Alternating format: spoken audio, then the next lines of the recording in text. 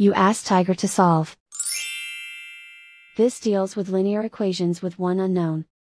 The final result is q equals 12.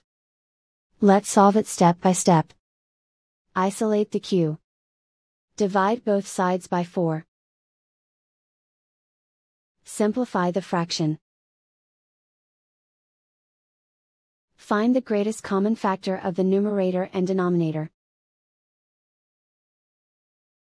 Factor out and cancel the greatest common factor.